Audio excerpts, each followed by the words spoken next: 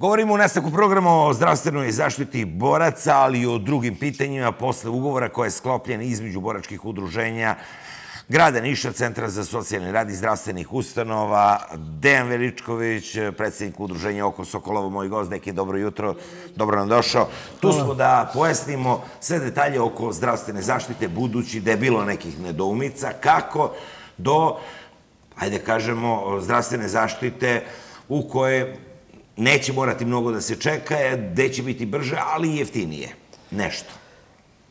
Ovako se zahvalim prvo na pozivu. Ovo nije nas dugo bilo, o tome ću malo kasnije da pojasnim zbog čega. Ovaj, potpisali smo pre neki dan sporazum sa gradom i sa direktorima zdravstvenih ustanova i ovom prilikom bih hteo da se zahvalim i gradonačelniku i svim direktorima. Ovaj, uradili smo nešto jedini ne u Nišu, nego u Srbiji. A to je? Ovaj, to je da naši saborci budu prioritet u svim zdravstvenim ustanovama bez zakazivanja i bez čekanja za sve vrste pregleda. Ovaj, sve što je potrebno dokumentacije, to je fotokopija lične karte, učitana, ako je sa čipom, učitana zdravstvena knjižica i dokaz o statusu borca, to je fotokopija vojne knjižice ili potvrde iz vojnog oceka, gde se dokazuje da je borac E sad dajmo stavka broj dva, dakle... Ovaj, tu dokumentaciju predaju u uh, gradskoj opštini, ko pripada gradskoj opštini... E dobro, da li nije problem doći do te dokumentacije, naravno te fotokopije, samo dokaz o statusu, to je... Tako je, fotokopije vojne knjižice, prva strana, druga strana i učešće o ratu. Ove, ko nema vojnu knjižicu, potvrde iz vojnog oceka da dobit će za, dva dana da je, da je bio u ratu i to je to predaje se ko pripada kojoj opštini. Opština Medijana, Crveni krst, Palilula, Pantelej, Niška banja i u glavnoj opštini Trg Nikole Pašića na šalteru 15. Posle toga svi ti podaci idu u Centar za socijalni rad. Centar za socijalni rad odrađuje kartice. Svako će od boraca dobiti karticu ovaj, i sa tom karticom kod lekara, bez zakazivanja. Šta konkretno vi, borci, možete da očekujete sa tim karticama? To je ono što sam malo pre napomenuo. Očekuje se, pretpostavljam, brže i jeftinije za neke preglede. Pa naravno, naravno, ovaj, u svim ovim zdravstvenim ustanovama su besplatni, besplatni pregledi državne institucije, da, tako da to je što se toga tiče, ali mnogo znači jer svi znamo da lista čekanja duga. Da... I vrlo često odemo kod na privatnu kliniku, u privatnu laboratoriju i to košta. I to košta. Pa A sad ne bi trebalo. Baš zbog tog razloga jer neki pregledi se čekaju više meseci i onda baš zbog toga ljudi idu i u privatne privatne klinike jer je nekom potreba neki pregled Tako je. Za, za dan, dva, tri. Međutim, ovom prilikom, evo, to smo radili nešto humano i korisno za sve naše saborce.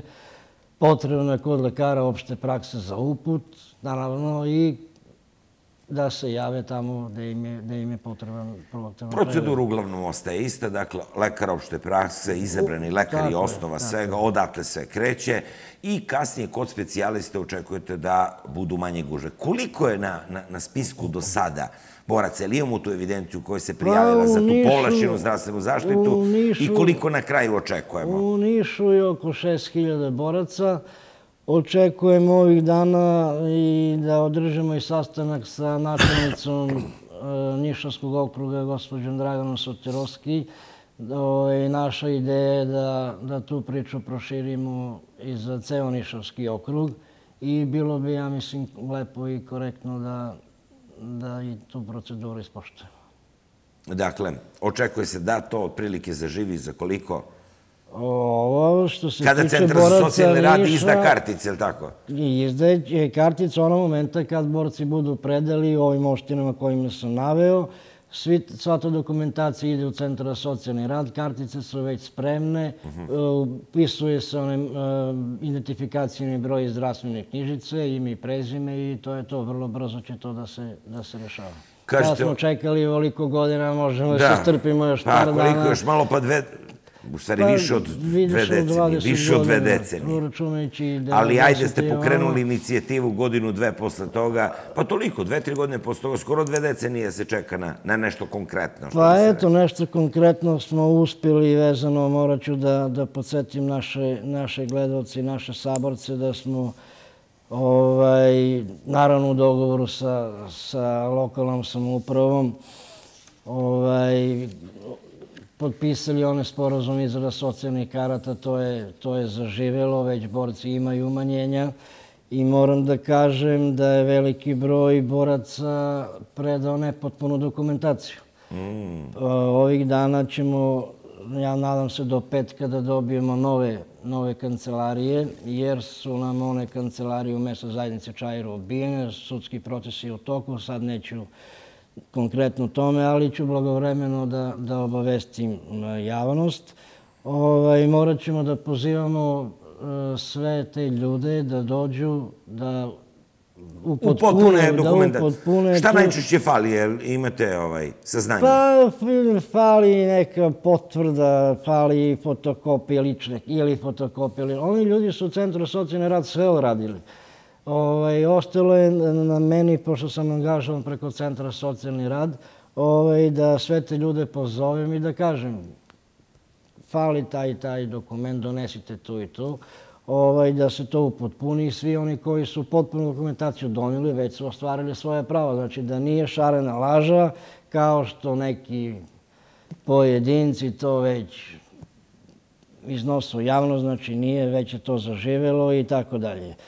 E, teo bih samo da kažem i da smo prošle godine, naravno, to su ovi naši zahtevi, ovaj, da smo pomogli stotinak naših saboraca u vidu jednokratne pomoći. E da, da li će biti i humanitarnih paketa i jednokratne pomoći i ogrevnu drveta i ove godine? Bilo je. Bilo da li možete da očekuju najugroženiji? Bilo je i prošle godine, bit će i ove godine, već sam tijeni većnici predao, mhm. predao spiskove, 50 porodica najugroženijih za pakete, 10 za ogrev. Ovaj, očekujem da će vrlo brzo da se realizuje, jer je prošle godine bilo isto tako, tako da verujem i nastavljamo saradnju ono koje smo započeli i sve u interesu naših saboraca. Da, krajnji cilj, je li tako, uz sve ovo koje, koje nije ni manje, manje bitno od toga, jeste naplata tih ratnih dnevnica, nešto što je potrajalo, boga mi, dugo. Stigli smo na kraju do tužbe za diskriminaciju. Kako je tvoje gledanje na to, kakvi su izgledi, kako ide komunikacija sa e, vladom Srbije, sa ministarstvima, da li smo na putu da pronađemo model za, za isplatu, što je rečeno da je jedan od problema. E, Ima li tu i dalje onih zakonskih prepreka oko toga? Bili smo i u Skupštini, predali smo E, zahteve i predsjednici vlade Republike Srbije, Jani Brnabić i predsjednik Republike i svim poslaničkim grupama, ovaj, da se sedne i ja mislim da je to najbolje rešenje jer smo dokazali da smo diskriminisani. Ogromni su sudski troškovi, do sada je e, preko 100 miliona evra otišlo advokatima. Mi smo dobili presude da smo diskriminisani i nismo vidjeli nijedan dinar od toga. Nema potrebe, imamo, evo i u Nišu naplaćena nematerijalna šteta, 50.000 dinara, 27.6.2018. godine, sudski troškovi, 21.000 po čoveku. A 50.000 dobiješ na sudski troškovi 21.000? A sudski troškovi 21.000 po čoveku. Šta je konkretno problem? Ovih dana u četvrtak imamo sastanak u Beograd, ovaj, i morat ćemo, morat ćemo da kažemo, morat ćemo imenom i prezimenom neke advok pojedine advokate odavde iz Niša, jer nas nisu slušali. Naplaćena presuda 2016. godinu u Vranju 50.000 dinara nematerijalna šteta. Ali je taj advokat iz Vranja obuhvatio dve tužbe u jednu. Znači i za diskriminaciju i za nematerijalnu štetu. Pojedini advokati nas nisu slušali, Oni su prvo pustili tužbu za diskriminaciju, računajući po 30-40 dinara sudske troškove za jednu tužbu, pa 30-40 dinara za drugu tužbu i njima nije im interes da borci stvare svoje prava. Njihovo ročište je 7.500 dinara, pa se odloži, pa plus 4.500 dinara i tako u nedogled. Izgubili smo dosta vremena, ovih dana bit će javno. Ja ću lično da kažem o kojim advokatima se radi, ima ih više, nažalost.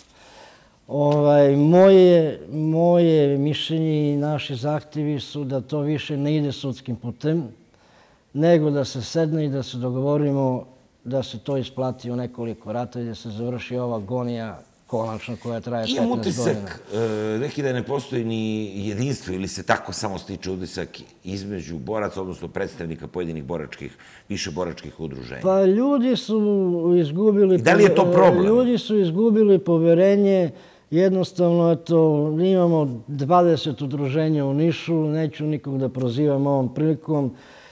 Svi mi znamo ko smo i šta smo. I svako ovaj, udruženje misli da najbolje radi.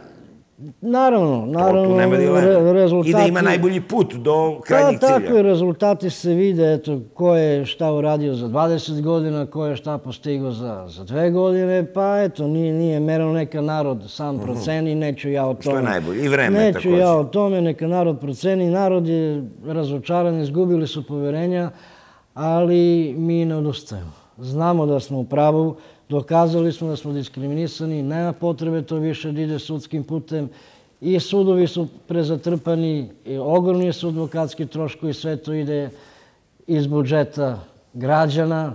Nema potrebe, najbolje rešenje je da se sedne, da se dogovore se to kao Toplički okrug 2008. godine, kako su oni vas sudskim putem naplatili i ja mislim, po meni je to najbolje rešenje.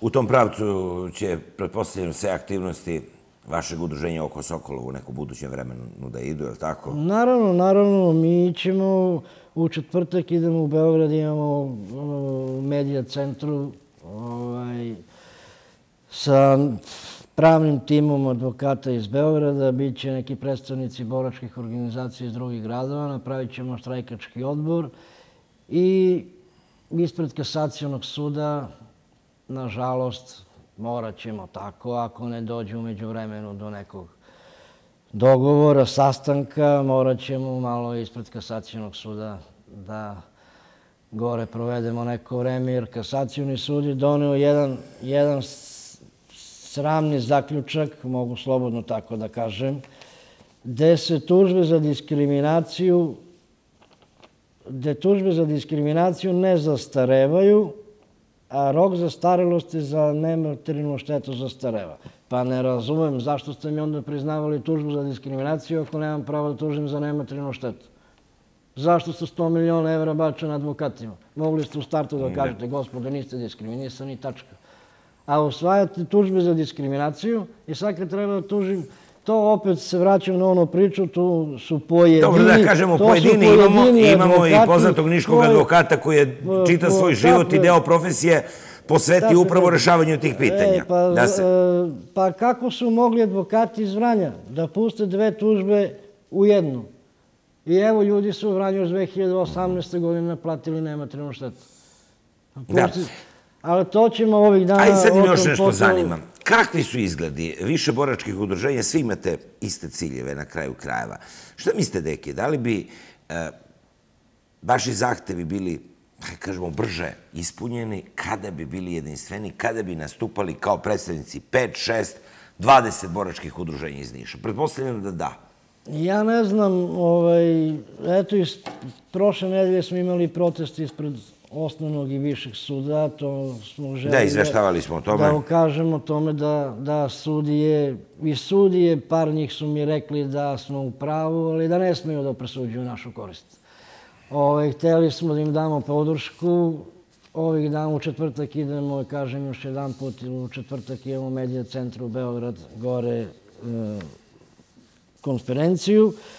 I ispred kasacijonog suda gore ćemo kampovati i da se ta odluka promeni. Ili da počnu da osvajaju tužbe za nematrijalnu štetu.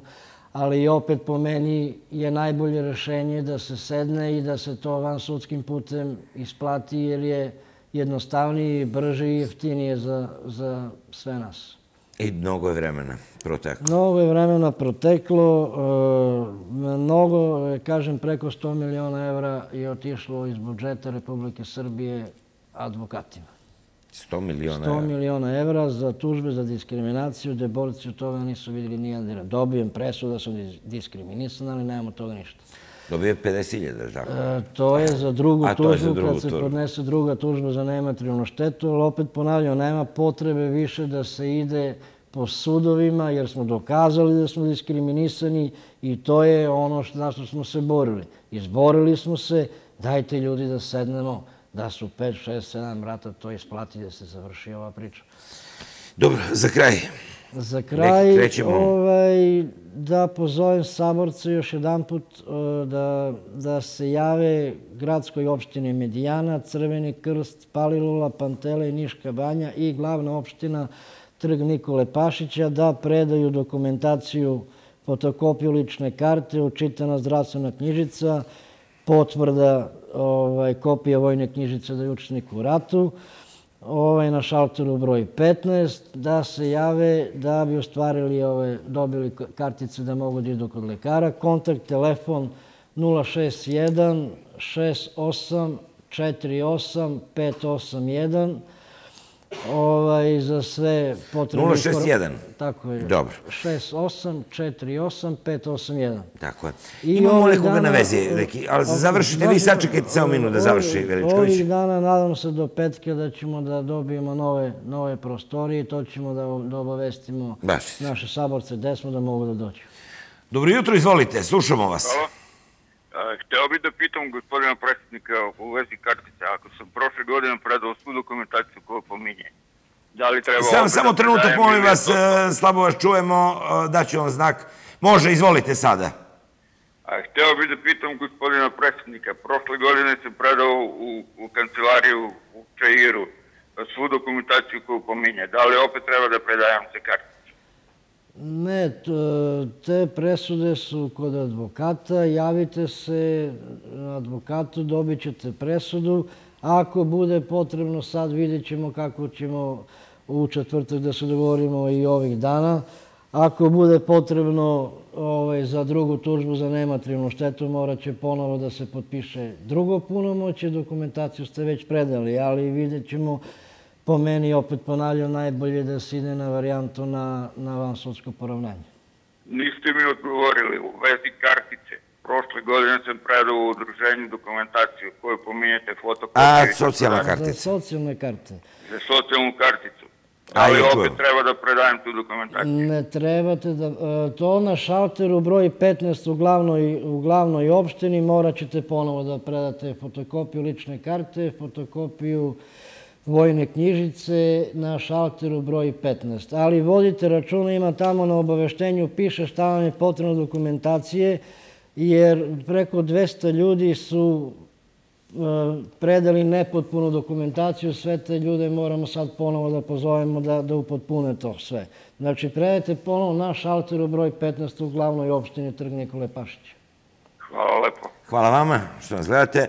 Možda još neko pitanje uživo. Imamo još 4-5 e, minuta ih tamo da, da kažemo prostorije uskoro prostorije dobijate, uskoro, tako? Nadam se, nadam se do petka, obavestit ćemo javnost, obavestit, obavestit ćemo sve naše saborce. I tu je, tu je, tu je jedan, jedan zabuna, tako kažemo. Borci su najpre anketirani, jel tako, da bi se došlo jel, da, do, do, do nekog zaključka kako i u kojoj meri je potrebna ta, ta, ta socijalna pomoć, pomoć oko plaćanja komunalnih računa. Dakle, jedno je anketa i tu su nešto od dokumentacije podnosili. Sad, evo kao i gospodin koji je zvao, morat će ponovo. Aj, pojasnimo te stvari. Pa, to u mestnoj zajednici Čajir, to je bilo jedan probni, uh, probni projekat, pilot projekat, da vidimo koliko boraca ima u Nišu, kako su u mhm, mhm. zdravstvenom stanju, kako su celokupna situacija naših saboraca, ovaj, sve bi to drugačije bilo da nije došlo do tog nemilog događaja gde su nam kancelarije obijene, sve bi to do sad bilo drugačije, ali opet ponavljam, ovaj, Tu situaciju smo prevazišli i idemo dalje. Idemo dalje, to će sad uskoro sud da kaže svoje i jedva čekam epilog. Da čujem i vas, dobro jutro, izvolite. Dobro jutro. Slušamo vas. Htio bih da pitam gospodina, da li to važi za sve borce i borce koji su kao pripadnici Ministarstva unutrašnjih poslova učestvovali u, u ratovima? Dakle, da li važi za policajice? Tako je. Za sve, za sve borce važi i za sve pripadnike i policije koji imaju učešće u ratu. U redu, ali mi nemamo upisano u vojnoj knjižici, nego imamo potvrdu o učešću u ratu. Da li je to dovoljno? Potvrdom je dovoljno, da. U redu. Da piše da ste učesnik u ratu. Naleše, hvala. Hvala vama. Da, dosta i policajaca. To nije bio problem, pretpostavljamo, početka. Nije nikad, pa zajedno sam bili u ratu, zašto bi se razdvajali? Da. Tako da. Da. Da sačekamo, izgleda ima još jedno pitanje. Ako ne, ovaj, da, polako zaključujemo. Dakle, ima, ima još jedno pitanje. Sačekat ćemo samo da, da napravimo mozak i pa da ovaj, čujemo vaše pitanje. Dobro jutro, izvolite. Dobro jutro. Dobro jutro. Ovdje Dragan iz Aleksića. Izvolite, Dragane. Teo sam da pitam, da li mi u Hrvatskoj su bili na raciju s imamo pravo, pošto ja imam već neku dijagnozu tamo koju sam dobio ovaj, u Hrvatskoj, u Erdutu, u Novom Sadu, mi je bila glavna predstavnica, onda iz Novog Sada sam prebačen u Nišu na lakarsku komisiju, tu sam dobio dijagnozu i evo već koliko već godina to prošlo. Znači, ovaj, ratno stanje mi je završilo što mi je završilo, ništa nikakvu, do, nik, nikakvu dva pare, nisam ni primao čak ni lišni dokaz u to vreme. Znači, interesuje me, ja sam se skoro čuo sa vašim kolegom ovdje koji je došao, pa sam teo da pitam, da li mi iz Hrvatske iste meni pišu u knjižici kao da sam ratni učesnik ove učesnik rata. Mislim, to obuhvata normalno, mi smo, mi smo srbijanci, nismo ne znam koji, ako se delimo jedino po... da, da li to važi za ljude koji su došli iz uh, Republike Srpske krajine, je li tako? Ne, ne, iz Hrvatske. Iz Hrvatske, iz Hrvatske, ja, dobro sam bio učesnik Hrvatski, imam učeće u ratu, pišem mi u knjižici. Znači, mi smo isto bili, bili negdje, nismo mi sad odvojeni od Kosova, mi smo isto, isto ta priča. Mhm. Evo da čujemo odgovor. Za, za sve naše saborce važi, znači i sve, za sve borce koji su učestvovali u ratu od 90. na vamo. Znači, dakle, na... važi i za učesnike rata tako, na, naravno, na prostoru bivše Jugoslavije, tako, tako? tako je, Bitno je da u vojnoj knjižici tako postoji ili da postoji? Tako da postoji dokaz u vojnoj knjižici da piše ili da je procedura ista, je tako? Ili procedura ista za sve važi, pa nema odvajanja, kako, zašto bi se odvajali na Da, pa ljudi nisu upućeni. Dobro da razjasnimo to. Za sve saborce važi. I za dobrovoljce, znači za sve ljude koji imaju mhm, upisano mhm. učešće u ratu. Ajde, sačekamo još jedno pitanje. Ipak, ipak. Dakle, odgovorit ćemo na, na, na razne pitanja. Ovo što, što se stiče zaključak i što smo čuli, dakle, važe i za policajce, važe i za učesnike u ratu na prostoru ono, Jugoslavije. Bitne je, dakle, potvrda, ono, dokaz u knjižici, potvrda važi za dobrovoljce. I posljednje pitanje u ovom segmentu emisije uživo. Izvolite, slušamo vas. Izvolite, dobro jutro. Halo, dobro jutro. Dobro jutro. Želim samo da pitam ovo gospodina predsjednika. A, da li važi za sve borce i okolne borce i opštine Doljevac i opštine Niš i opštine Aleksinac sve to?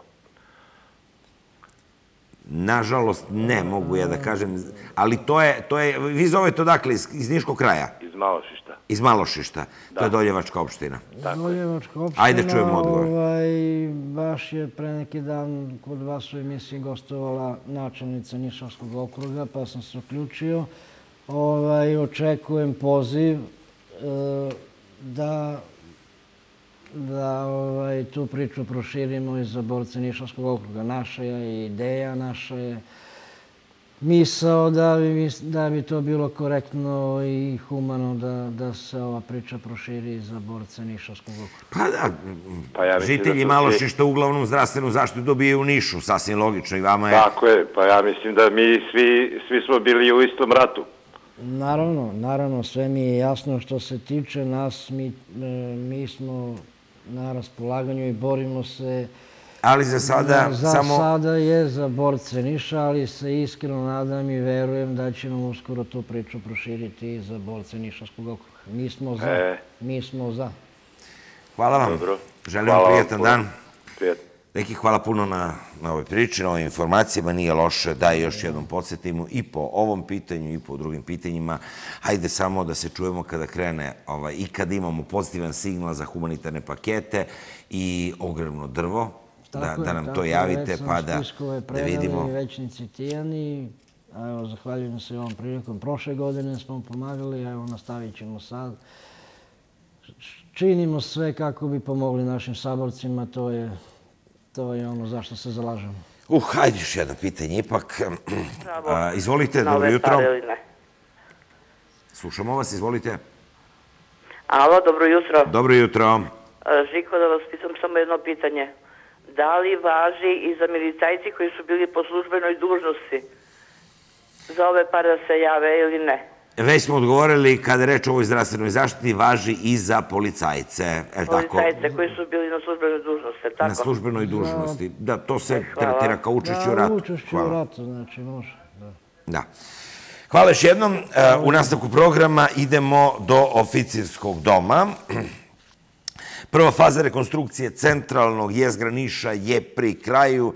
Do kraja ovog meseca biće završeno popločavanje parka kod oficirskog doma, a potom sledi i postavljanje nove rasvete. Svi radovi u parku ulici 7. jula biće gotovi do kraja godine, kada će biti ovaj park otvoren za građane, kažu u direkciji za izgradnju grada Niša.